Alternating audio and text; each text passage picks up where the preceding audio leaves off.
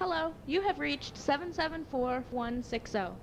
Neither one of us are in right now to take your call, but please leave us your name and number, and one of us will get back to you as soon as we can.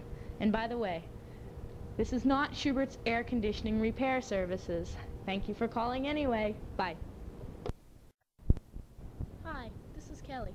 Yes, I know this is another answering machine, and you probably hate to talk to one of these things, but I'd really like to hear from you, so don't hang up.